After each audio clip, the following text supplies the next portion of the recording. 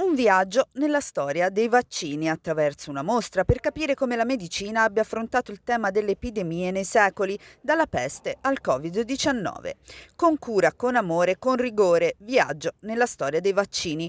Questo è il titolo del progetto realizzato da Regione Toscana e ASL Toscana Centro in collaborazione con Fondazione Santa Maria Nuova Onlus e il Museo delle Arti Sanitarie di Napoli. Il vero strumento per debellare la pandemia, il Covid-19, eh, è quello del vaccino.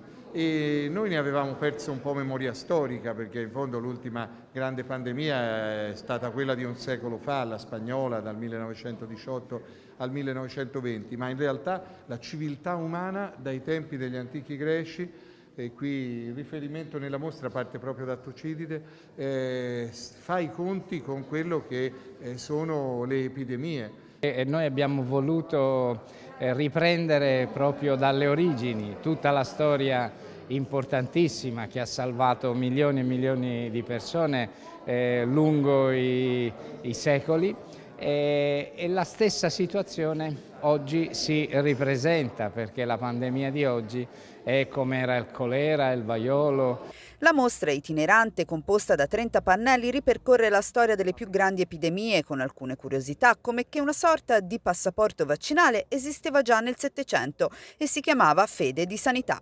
Una parte della mostra è dedicata alla Toscana, dove viene ricordata anche la Sclavo di Siena, dove nel 1950 venne prodotto il vaccino che sconfisse la poliomelite. La storia è lunga, noi si è voluto fare questo perché in questo momento sta iniziando la campagna vaccinale, entra nel vivo la campagna vaccinale, è bene che le persone imparino dal passato. Nel passato è stato fatto tanto, è stata applicata la scienza alla medicina e si è ottenuto dei grandi risultati. Abbiamo praticamente sconfitto eh, il vaiolo, la tubercolosi, la poliomielite, il colera, sconfiggeremo anche il coronavirus se ci comportiamo come siamo comportati in passato.